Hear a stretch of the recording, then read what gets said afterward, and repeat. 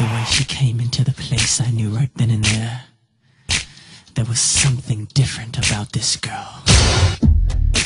The way she moved, her hair, her face, her lines.